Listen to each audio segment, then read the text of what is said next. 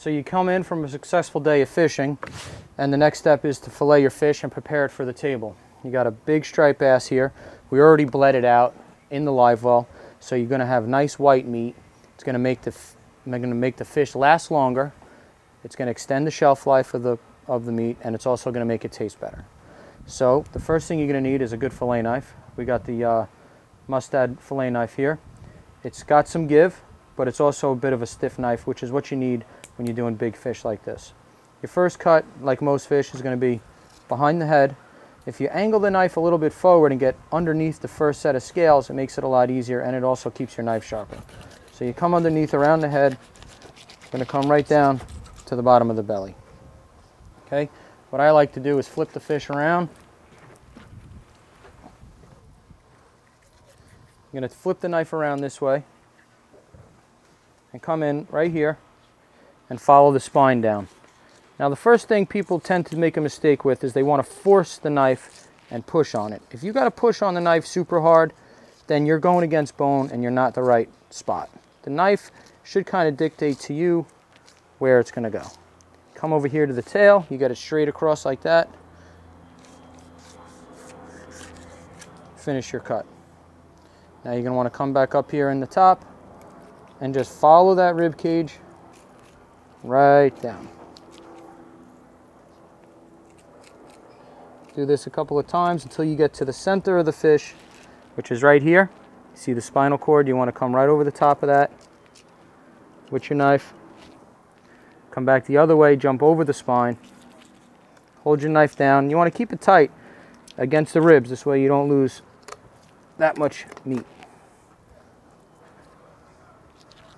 Okay, when you get to the rib cage here, you want to angle your knife up and kind of float over the top of it instead of pushing the knife through the bones. Get up over the top of that rib cage. Just keep following it along, following along. Okay, now you get down to this part. I'm just going to take the fillet right off from the fish. Okay. So now we got one side of the fish filleted. Okay, we'll put this down. I'll show you what you do here. Okay, clean your scales off the knife. If you have any trimmings of belly meat left, you want to cut that away. Okay. Come over here to the tail. Get the knife underneath the meat and stop when you hit the skin. Hold this part tight so the fish doesn't move. And just let the knife walk along the skin.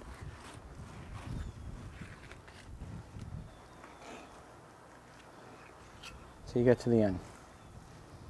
Okay, I got the skin, set that off to the side. Now, when you're doing striped bass, they have a large area of red meat on the inside of the spine. This meat is going to taste the fishiest.